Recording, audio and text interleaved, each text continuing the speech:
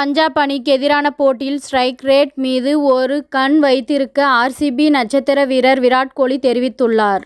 பஞ்சாப் அணிக்கு எதிரான போட்டியில் ஆர்சிபி அணி இருபது ஓவர்களில் ஏழு விக்கெட்டுகள் இழப்பிற்கு இருநூற்றி நாற்பத்தி ஒரு ரன்கள் குவித்தது.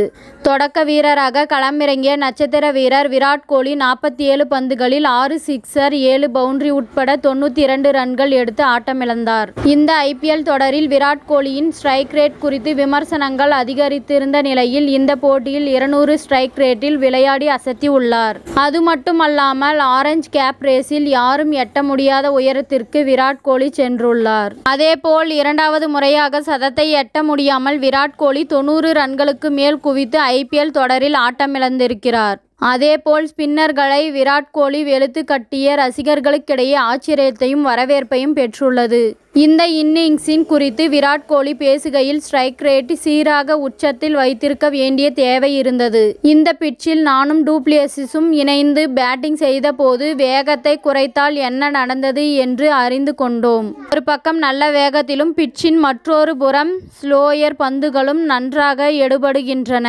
பேட்டிங்கின் போது இருநூத்தி முப்பது ரன்கள் எடுத்தால் சமாளிக்க முடியும் என்று கணித்திருந்தோம். அது மட்டுமே எங்களின் மனநிலையாக இருந்தது. கடைசி ஓவரில் ஹர்ஷல் படேல் மிரட்டிவிட்டார் என்றே சொல்லலாம். அந்த ஓவரில் மூன்று விக்கெட்டுகளை விடவில்லை என்றால் நிச்சயம் இருநூத்தி ஐம்பது ரன்களுக்கு மேல் குவித்திருக்க முடியும். கவேரப்பா போன்ற வீரர்களின் திறமையை ஒரே போட்டியை மட்டுமே வைத்து சொல்லிவிட முடியாது. அவரின் கைகளில் இருந்து பந்து வரும்போது நன்றாக ஸ்விங் ஆகிறது இந்த இன்னிங்ஸில் காவேரப்பா பவுலிங்கின் போது முதல் மூன்று ஓவர்களில் நன்றாக ஸ்விங் செய்தார். ஆனால் அவரின் நாலாவது ஓவரை எங்களால் அட்டாக் செய்ய முடிந்தது. ஏனென்றால் பிட்சில் அதன்பின் ஸ்விங் இருக்காது என்று தெரியும்.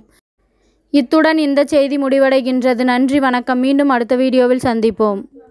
மேலும் இது போன்ற சுவாரஸ்யமான தகவல்களை அறிய தமிழ்ச்சிறை சேனலை சப்ஸ்கிரைப் பண்ணுங்க ஷேர் பண்ணுங்க லைக் பண்ணுங்க மற்றும் கமெண்ட் பண்ணுங்க.